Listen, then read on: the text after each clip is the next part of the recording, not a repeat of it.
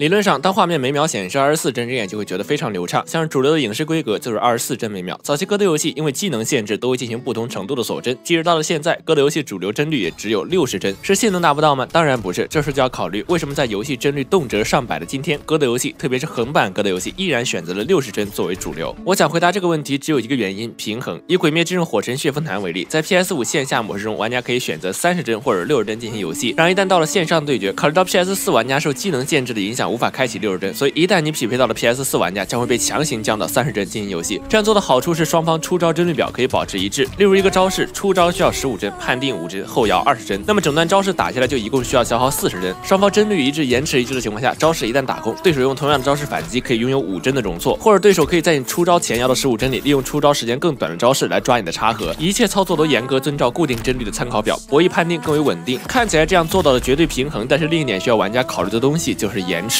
低帧率高延迟那样玩。起来有些时候反而会更难受，将和兄弟们线上真人快打的体验和线下完全是两款游戏。而《永劫无间》作为一款主打近战博弈的大逃杀游戏，从根本上来说走的还是格斗游戏那套最基本的内核，所以就无法绕开两个致命的平衡性问题，一个是帧率，一个是延迟，即最使玩家诟病的帧率高等于微加速，高帧打低帧等于没法玩这两个观点。然而事实上，这种情况普遍存在于绝大多数线上多人竞技游戏中，比如在瓦罗兰特、CS 等这些游戏中，很多时候你明明看到自己已经完全进到掩体后面了，却仍然被对手一枪爆头了。举个更恰当的例子，在荣耀战魂中，很多时候你去招架或者偏斜对手攻击，也会出现明明判定都出来了，却招架失败吃到伤害的情况。这是因为上述游戏的判定系统较为复杂，无法全部在服务端进行处理，而是由玩家的电脑处理后发送到服务器。玩家在本地看到对手的动作，也许和服务器端接收到的时间并不一样。也就是说，可能你看到对手放了蓄力，立马震刀，结果你现在震的刀其实是零点几秒之前的刀。对手释放的霸体对你来说也是一段跨时空斩击。这也就是为什么你会出现震刀声音都出了，却仍然吃到伤害的问题。放到闪避上也是一样，闪出去被拉回因为你闪的其实也是零点几秒之前的攻击。那看起来。明明是和延迟关系更大的平衡性问题，怎么就扯到帧率上了呢？不知道大家有没有观察过一个问题？例如我现在在训练场中开启最高特效，延迟有三十五、三十六左右。如果调成最低特效，延迟降到了三十左右。由此我们可以得出，更低的特效等于更高的帧率，等于更低的延迟。所以高帧率等于低延迟。如果我们把游戏帧率直接限制到三十左右啊，会发现延迟瞬间来到了五十以上。这样明白了吧？大家纠结的帧率问题，其实更多的还是服务器延迟问题。同时，我们也要观察本地渲染延迟。有些人会发现，每次调高特效，明明帧率没有明显降低，但是手感。就是变得非常奇怪了，这是因为什么呢？